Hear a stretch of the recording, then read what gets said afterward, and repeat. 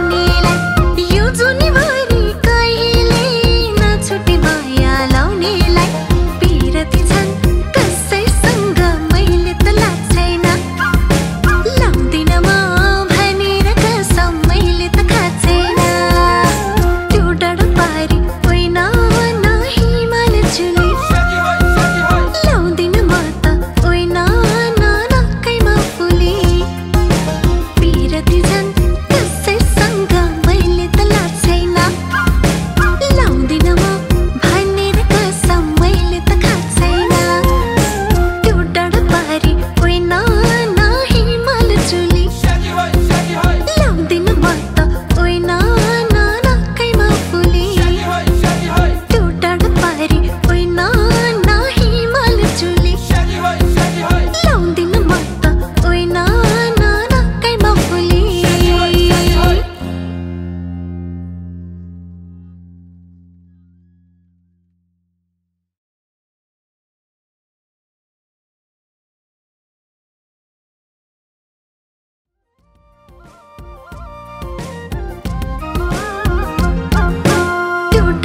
Ready?